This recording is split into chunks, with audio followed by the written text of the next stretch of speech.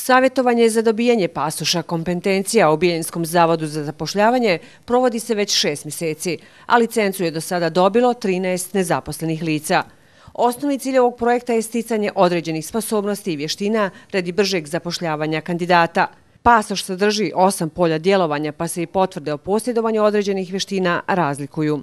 Imamo od formalnog obrazovanja, zatim imamo dodatno usavršavanje i edukacije, e, poslovni život i praksa koje je najsadržajnije, zatim kućanstvo i porodca, imamo hobi i interese, civilno služenje vojnog roka ili vojni rok, to je za neke starije, zatim imamo posebne životne situacije. Savjetovanja koja traju oko dva mjeseca pohađaju lica različite starostne dobi.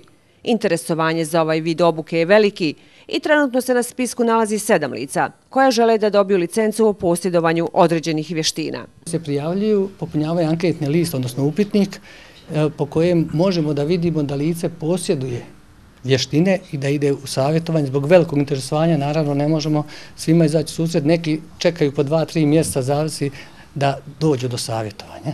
Potvrdu o posjedovanju pasoša kompetencija danas je dobila Neda Tojić, nezaposleni profesor razredne nastave. Ona kaže da im je savjetovanje pomoglo da steknu samopouzdanje i ispoznaju neke svoje sposobnosti kojih uopšte nisu bili svjesni. Pomoći će u sljedećem zaposlenju sigurno gdje će poslodavci da vide sve te vaše sposobnosti i možda da se odluče za vas. Već četiri godine na posao čeka i Milan Gavrić, trgovinsko-turistički tehničar. On se nada da će ovo savjetovanje biti od koristi prilikom zapošljavanja. Spoznali smo malo više ovaj, stvari o sebi što nismo možda do sada ovaj, znali da znamo i neke veštine koje su negdje ostale možda u zapičku. Posjedovanje ove licence već je dalo određene rezultate.